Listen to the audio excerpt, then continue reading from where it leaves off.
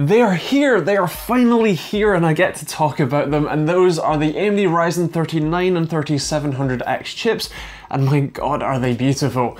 Now AMD's been pretty open with these chips and the architecture and a load of other stuff already so I'm not going to go into too much detail and I'll actually leave that to the articles from people like Ian Cutress from AnandTech who do a much better job of explaining a lot of the technical details than I can so feel free to go check those out but I want to cover a few quick points first. First off we have to talk about clock speeds and core counts. Now the 3900X is the, the monster 12 core here with 24 threads. It has a a base clock of 3.8 GHz and boosts all the way up to 4.6, although the all-core boost is more like 4 to 4.4 depending on what application you're in. The 3700X is the more normal 8-core with 16 threads. The base clock is 3.6 GHz and boosts up to 4.4 and you can actually find it boosting to 4.4 on all cores in certain applications. Cache-wise, these have double the last generation's amounts, with the 3900X coming in at 64 megabytes of L3 cache and the 3700X coming in at 32. AMD have claimed that this gives up to 20% performance improvement in games just thanks to doubling the cache alone, so that's pretty sweet. Also on the RAM speed side of things, they've done a really good job and worked rather hard to be able to decouple the Infinity Fabric speed from the RAM speed, uh, especially at higher frequencies, so technically speaking, Ryzen can now benefit from up to 5 gigahertz RAM, which is just incredible and something that we really didn't see in the last couple generations. Uh, AMD's recommended spec right now for RAM is actually 3600 MHz at CAS latency 16, so if you can pick up a kit of that for these new chips, that's really the sweet spot. And finally, these chips now support PCIe Gen 4. This is only available on X570 motherboards and is kind of pointless for GPUs right now since we really don't bottleneck a PCIe Gen 3 connection, but for SSDs, as you'll see in a video coming up in the next couple days of this incredible hunk of copper, which is an Aorus 2 terabyte NVMe Gen 4 SSD and how insanely fast this thing is, uh, you, you see that for SSDs it's kind of worth it. So performance, we have to talk about the synthetic result first as that kind of lays the groundwork for where the results are going to be for the rest of the tests and the synthetic one I'm using here is Cinebench R20. You can see that the single core performance here for the two new chips is almost identical to Intel's 9900K which is really their flagship when it comes to single threaded performance.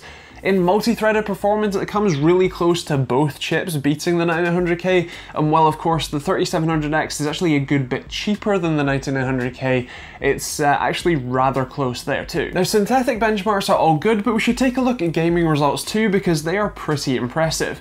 I should mention that if you want to see any more numbers for the, the test results, especially other resolutions that I tested at, or the minimums, or 1% lows for example with Battlefield 5, then you can check out the link to the website article down below where all of that information is laid out for you. Starting off with Battlefield 5, testing with the 2080 Ti at 1080p, you can see that the two new Ryzen chips are basically on par with Intel's 9900K, whereas the last generation 2700X is a good bit behind. This is with DirectX 12 on, but DXR off by the way.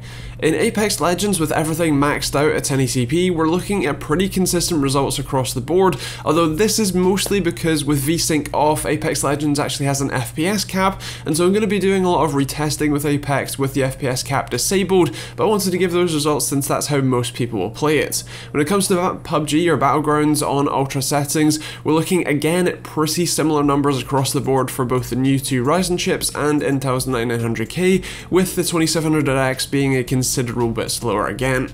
When it comes to Fortnite, again on Epic settings with multi-core rendering enabled, again we're looking at a pretty close result. There's a little bit of a bigger gap between the 3700X and the 9900K this time, but it's certainly a good bit higher than even the last gen 2700X. Now we've seen that the gaming results are pretty good, but we should also talk about productivity.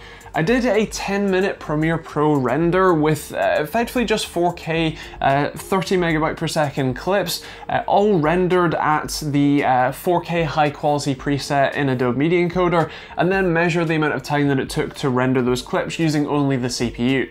Now do bear in mind this isn't necessarily a perfectly real world example because you would generally have GPU acceleration on, but it's also not a fair test of CPUs if you've got GPU acceleration, so bear with me here.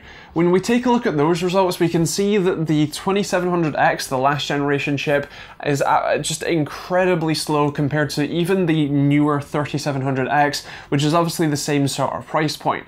When it steps up to the 12 core though, it's absolutely insane and smashes everything, including the 9900K. So what's the conclusion here then? Well, it's probably a similar one that you've heard from a lot of reviewers today, and that is that frankly these chips are amazing. The fact that their single-threaded performance has caught up to Intel and in some cases slightly surpasses it, and their multi-threaded performance is absolutely incredible, and for the same sort of price point as the 9900K, which is 8 cores and 16 threads, you can get a 12 core 24 thread monster that is absolutely amazing for productivity and still fits in the same board that a quad core does. Now there is one spanner in the works here and that's the X570 motherboards.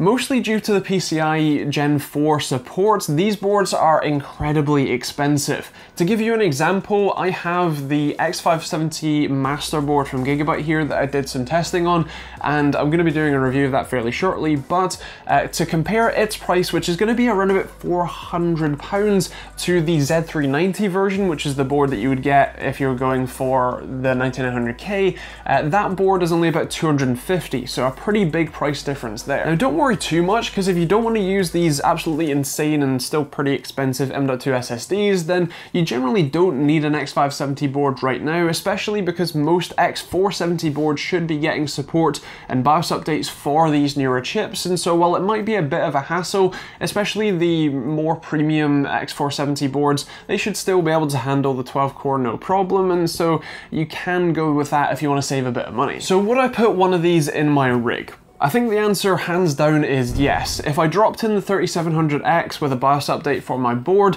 I would get a pretty significant performance advantage not only in gaming but also in productivity, and if I went for the 12 core or the soon to be upcoming 16, uh, which is really the one I have my eye on as a content creator and gamer, uh, that would just be absolutely insane and hypothetically I could drop it in my old board with a BIOS update too. I really can't recommend these chips enough, especially for the price points they're at. I'm really excited to see see what Intel has in terms of a response for this. Obviously they've got the 9900KS that's coming out that might get a little bit closer to beating the 3800X in terms of its performance, but when it comes to the 12 core, I don't think that a few extra megahertz in terms of your boost clock is going to do too much when you have four extra cores and the same sort of uh, single threaded performance. With that said though, those are my thoughts. I would love to hear yours in the comments down below. Are these chips something that you're planning on picking up? Are you happy with the performance gains that these have seen? Or or would you like to see more? Are you a bit disappointed? Or are you just very impressed?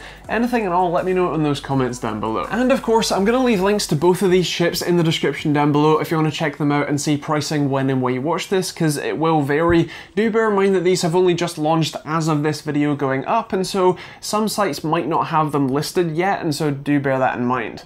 Otherwise though, if you're interested in seeing more content on these chips, including overclocking videos, streaming comparisons, the SSD review, motherboard reviews, and the new Navi cards that also launched today, then do make sure you're subscribed with the bell notification icon because more videos will be coming out very shortly, including tomorrow, Tuesday, uh, there will be another video on Wednesday, but not necessarily Ryzen related, and then throughout the next coming weeks, and actually probably months when it comes to motherboards and stuff like that. Otherwise, if you want to support the channel and keep me making these videos on Monday, Wednesday, and Friday basis, then take a look at the links in the description down below. There's an Amazon and Overclock affiliate link, so whether you're buying these brand new and rather awesome Ryzen CPUs, or whether you're buying garden sheds on Amazon, it all helps and doesn't cost you anything. There's also merch if you want to pick up hoodies or t-shirts like this one, or a load of other designs, and you can check out the rest of the links like private internet access, which is a great and cheap VPN, or Humble Bundle to buy cheap games and support charities too. There's also plenty of other videos over there that you can keep watching if you fancy, and otherwise that is kind of it. If you have any questions, feel free to leave those in the comments down below, and we'll see you in the next video.